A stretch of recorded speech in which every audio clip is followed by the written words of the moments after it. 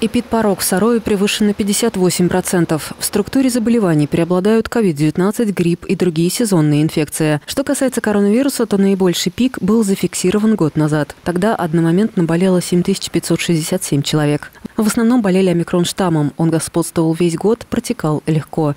Но в последнее время в стационар опять попадают пациенты с большим поражением легких. Этой зимой наряду с ковидом медики борются с гриппом. Большая часть заболевших симптомами гриппа выделяют вирус гриппа А, H1N1, так называемый свиной грипп.